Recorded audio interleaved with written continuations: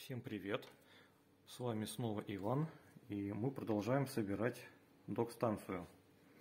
В комментариях был вопрос, а, почему бы не взять а, материнскую плату ATX и в нее повставлять а, PCI карты для дополнительных USB портов. Но дело в том, что это будет тогда другой компьютер, а мне нужно подключить к тому компьютеру, что есть. Ну, бывает так, что ноутбук мощный, у меня не ноутбук, но тоже мощное устройство, и когда это устройство не в движении, а где-то стоит, хочется к нему подключать разных устройств. И учитывая, допустим, что ни веб-камеры встроенной, ни считывателя SD-карт у него не было, а, то все это приходится подключать через USB, и порты довольно быстро кончаются. Сегодня у меня больше вещей появилось. Я все еще не готов все собрать, но уже можно показать идею.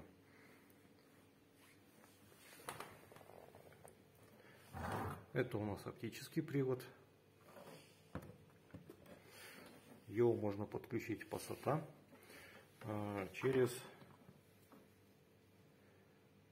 вот такие упрощенные салазки в которых есть питание и кабель данных. Но питания для оптического привода у них не хватит, поэтому запитывать нужно от настоящего блока питания. Кабель данных я выбрал не тот, поэтому я не смог соединить. Но это не самая большая проблема сейчас. Теперь идем дальше. Вот у нас очень интересный отсек с USB-портами и со считывателем смарт-карт и всяких других интересных карт. И такие отсеки интересные, они подключаются к материнской плате через USB, но совсем не тот, который обычно люди видят.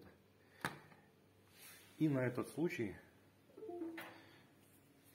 оказывается, есть чудесный кабель, который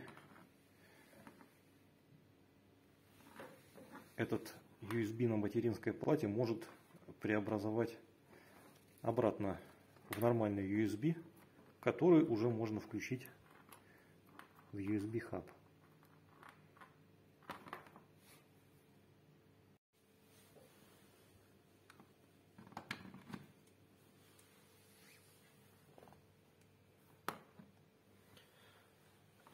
Также этот отсек хочет себе питание. И это питание подается тоже от блока питания. А, к сожалению, выяснилось, что этот отсек а, хочет еще один способ соединения с материнской платы, платы и это USB 2.0 для него у меня сейчас переходника нет. Было бы чудесно, если бы можно было сразу с такого соединения в USB Type-A, как это с тринольным соединением получается. Но таких готовых решений я не видел. Вместо этого я видел э, другой способ. Э, вот этот 9-пиновый 9-пиновые соединения можно преобразовать а, в 3.0, как здесь. Ну а для 3.0 еще один такой же провод купить. Правда, я не знаю, как оно будет там устроено. Там, наверное, только один из двух USB кабелей будет функционировать. А то лишние порты в хабе занимать не хотелось бы. Теперь задачи поинтереснее. Этот USB хаб, который вместо материнской платы, он будет стоять внутри корпуса компьютера. Его надо чем-то тоже запитать.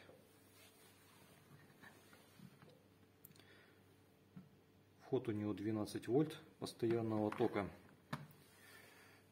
гипотетически можно подключить его при помощи родного адаптера питания, даже вместе с проводком Акаса. Интересная планочка поставляется.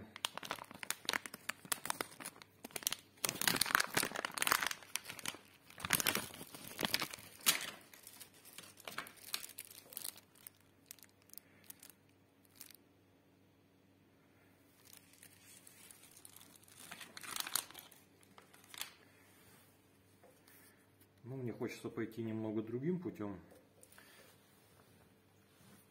И не, не только хочется, но есть необходимость а, подключиться к 20-портовому 20 плюс 4 4 здесь отстегивается.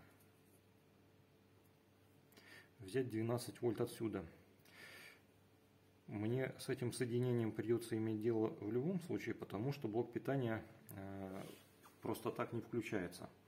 У него нужно замкнуть контакты. Ну а если я там замыкаю контакты, то почему бы сразу и напряжение не вывести нужное? Напряжение вывести и в коннектор постоянного тока подать на хаб.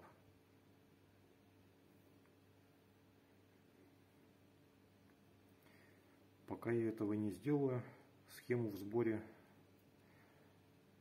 проверить не смогу. Так что на этом у меня пока все.